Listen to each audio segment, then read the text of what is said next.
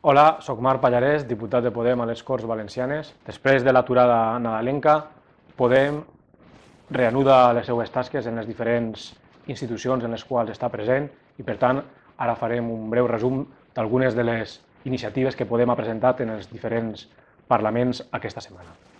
En primer lloc, com que per a Podem el medi ambient sempre és molt important, cal ressaltar que aquesta setmana s'han presentat iniciatives tant al Congrés dels Diputats com a les Corts Valencianes per ocupar-nos de la central de Cofrents. En concret, s'ha demanat la compareixença del ministre d'Energia en la Comissió d'Energia del Congrés dels Diputats, amb la finalitat de recordar-li que pensem que la vida útil de la central nuclear de Cofrents està totalment exaurida i que caldria tancar la central nuclear de Cofrents.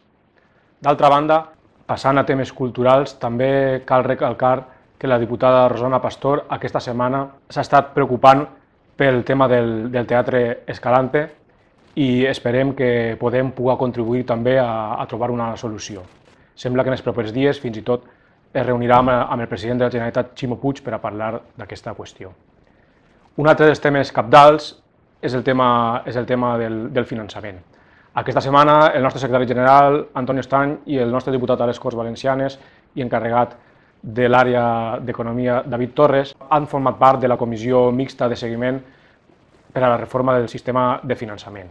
En aquest sentit, cal recordar una vegada més que Podem sempre estarà molt pendent que totes les polítiques de benestar social, totes les polítiques d'habitatge no es vegin afectades per la regla de despesa del ministre Montoro.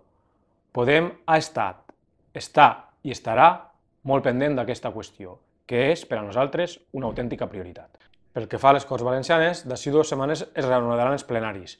Això ens permetrà continuar esforçar-nos per donar eixida a totes aquelles iniciatives que han de continuar millorant la vida dels valencians i les valencianes.